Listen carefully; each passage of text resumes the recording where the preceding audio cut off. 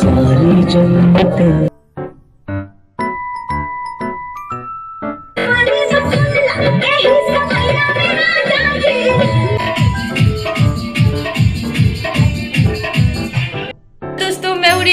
रहे हैं। Jimmy blog zero five तो आज के ब्लॉग में स्टार्ट कर रहे हैं रात को नौ बजे।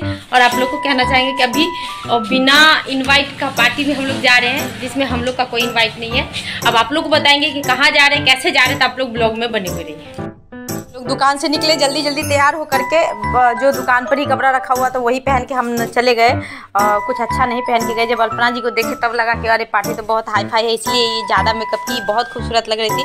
लेकिन हमारे तो बाल में तेल लगा हुआ था चिपरू की तरह दिख रहे थे। चलो पार्टी वैसे ही इंजॉय करेंगे। लगेगा कि इनका दो असिस्टेंट साथ में आए। मनोज जी तो बहुत स्मार्ट लग रहे थे कोट पैंट पहन के।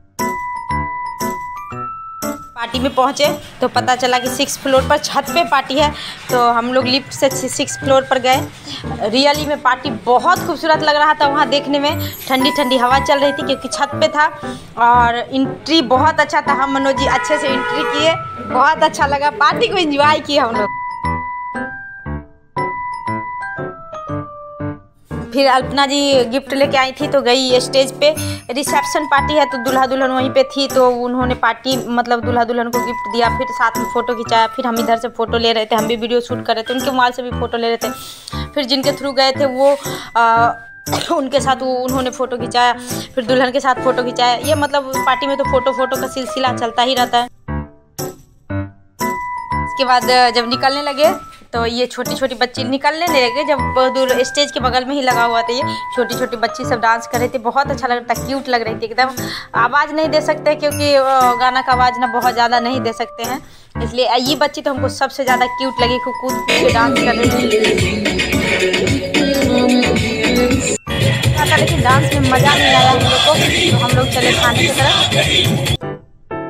खाने की तरफ़ गए तो फिर पहले चाउमीन लिए हमने एक प्लेट चाउमीन इतना बढ़िया बना हुआ था कि हमें लगता है कि अभी तक हम पार्टी में इतना टेस्टी चाउमीन नहीं खाए उसके बाद एक प्लेट चाट बनवाए फिर फुचका खाने गए।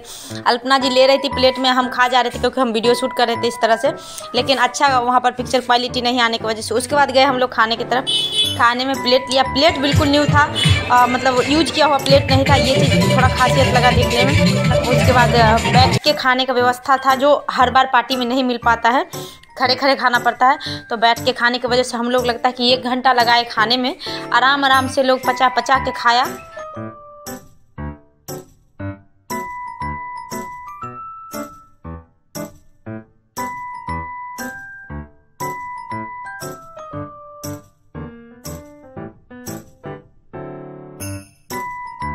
चल रहा था तो और खाने में मज़ा आ रहा था प्रोग्राम देख रहे थे गाना सुन रहे थे और खा रहे थे और छत पे खा रहे थे हवा चल रहा था। आप देखो ऊपर फूल उड़ रहा है कितना खूबसूरत लग रहा है। और हवा चल रहा है और बैठ के खा रहे हैं बहुत अच्छा लग रहा था। बहुत ज़्यादा ही अच्छा लग रहा था।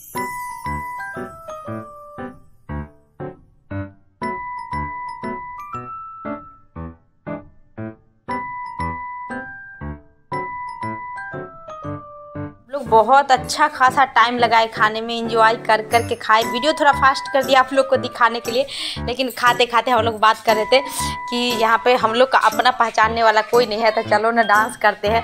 अल्पना जी को बोले कि गाना बज रहा है तो डांस करने का मन कर रहा है। हम लोग को देखिए, हम लोग ना पहले से कोई डांस वांस हमको आता नहीं था।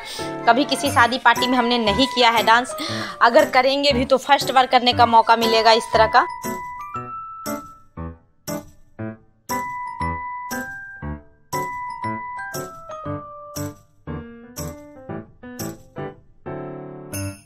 ना जी भी सोच ही रही थी, खाना खा के उठे वैसे ही गए हम लोग स्टेज के पास, और किसी को बोल दिए कि लेडीज़ लोग डांस नहीं करेगा। बस हो गया, और लोग पकड़ना शुरू कर दिए, फिर हम लोग स्टेज पर गए।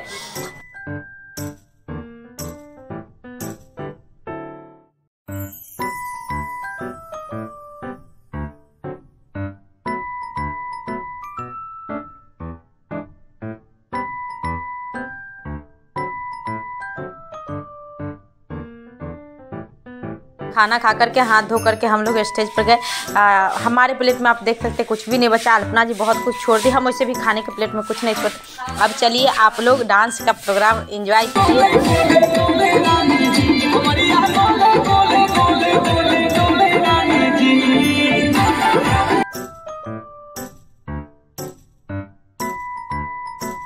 अकेले थे और मेरा ये पहला एक्सपीरियंस था कि किसी के शादी पार्टी में डांस करने के, करने का। ये हम पहले कभी नहीं किए हैं, आज तक कभी नहीं किए, कभी किए होंगे।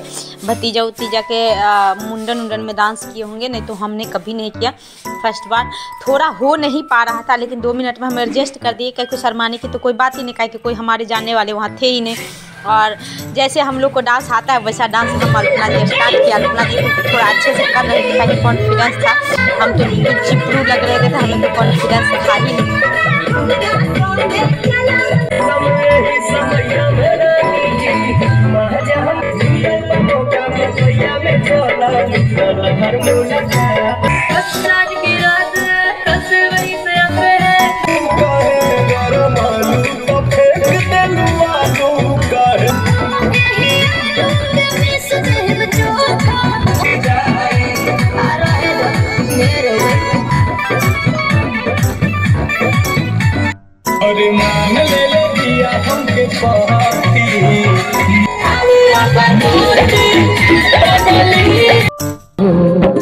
सारी जन्नतें मेरे गए सब लोग दूल्हा दुल्हन को भी लेके स्टेज पर आ गया। फिर ये दोनों का डांस हुआ। ये बहुत खूबसूरत लगा। सब लोग बैठ के इंजॉय किया डांस को और हम लोग को भी बहुत अच्छा लगा। दोनों कपल्स बहुत खूबसूरत लग रहे थे और दोनों का जोड़ी भी बहुत खूबसूरत था। दोनों बहुत अच्छा डांस किए।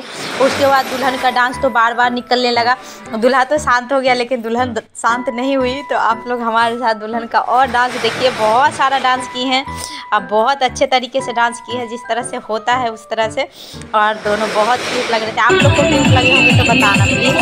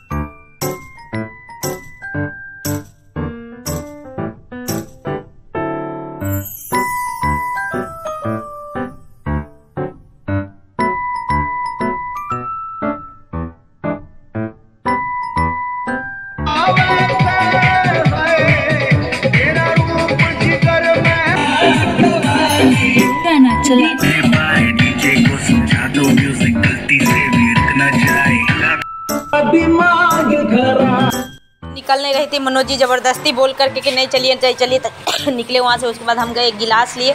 गिलास लेकर के आए जहाँ पे खाने का स्टॉल लगा हुआ था वहाँ पे। वहाँ पर आ करके हमने जिम्मी के लिए उन लोग को बोला कि इसमें से दोनों में से मिठाई दे दी जिम्मी के लिए। हमने एक एक पीस लिया, समेट के जेब में रखा। हम। और हमने वीडियो भी शूट करवाया क्या कि जिम्मी के लिए तो हर पार्टी में जाते तो मांगना ही पड़ता फिर घर आ गए। घर आने के बाद जिम्मी को जिम्मी के पापा वहाँ पर पोटी कर रहे हैं और हम लोग आ गए हैं है चाबी है है मेरे पास चाबी पोटे खड़ा हो बनेगी। और हम लोग आ गए हैं पार्टी से अब जिम्मी घूम के आता है। तब घर जा कर के जिम्मी को हमने मिठाई खिलाया क्या उसको खुशबू लग गया था कि ये मिठाई कुछ आया है उसके लिए। तो खूब कूदने लगा तो फिर उसको दोनों मिठाई खिलाए। खाए आराम से तो खाता ही है मीठा सब जाता है। लोग डॉग को खिलाना नहीं चाहिए लेकिन हम तो खिलाते हैं। ताकि जो हम खाते हो उसको नहीं खिलाते तो अच्छा ही नहीं लगता है तो जिम्मी खाया। और उसके बाद हम ना लमसम अभी बज रहा है साढ़े ग्यारह। अब जिम्मी के लिए हमें चावल बनाना है। चिकन उसके लिए है। चिकन चावल उसको बना के खिलाएँगे जिम्मी को। तो जिम्मी के लिए चलिए चावल चढ़ा देते हैं। चावल कंप्लीट हो गया है, अब बज गया है लमसम बारह पंद्रह। अब चावल को ठंडा भी करना पड़ेगा क्योंकि अभी तुरंत बना है तो बहुत ज़्यादा गर्म है तो हम उसको दो बर्तन में निकाल लिए जिम्मी के लिए। अलग अलग थोड़ा थोड़ा रहेगा, जल्दी ठंडा हो जाए उसके बाद पंखा चला करके। और जिम्मी बैठा हुआ सॉल ओढ़ के, जिम्मी के पापा भी बेड पर हैं, हम जगे हुए हैं, क्योंकि जिम्मी को खिला के सोना है इसलिए। घर में रहते तो नौ बजे बना लेते। जब थे ही नहीं तो अब पार्टी में भी हम लोग नौ बजे रात में गए हैं। जिम्मी यहाँ पर बैठा हुआ हम चावल लेके पंखा चला कर बैठ गए हैं। अब चावल जैसे ठंडा होगा तब जिम्मी को देंगे खाने के लिए। जिम्मी का खाना ठंडा कर रहे हैं और जिम्मी यहाँ से देख रहा है, एकदम गौर से देख रहा है कि मम्मी क्या कर रही है, देखिए। और उसको जब तक ऑर्डर नहीं देंगे, वो भी जान रहा है कि खाना गर्म है। जब गर्म रहता है ना खाना तो उसको पता रहता है। क्योंकि उसको भी तो लगता है ना कि खाना गर्म है। मम्मी सुसुआ रही है तो इसका मतलब वो छू नहीं रही है तो खाना गर्म है। हम बोल देते हैं, हम सुसुआ के दिखा देते हैं, आपा को कर देते हैं ना तो बस उसको लगता है। ठंडा भी रहेगा ना, हम एक बार सुसुआ देंगे तो समझ जाएगा कि मम्मी पाकू बता रहा है, नहीं छुएगा वो। फिर खाना ठंडा हो गया तो, तो हमको दूध गिर गया था उबालते समय आधा से ज़्यादा दूध गिर तो उसको बोले जाओ सब पीछे पी जाओ किचन में से।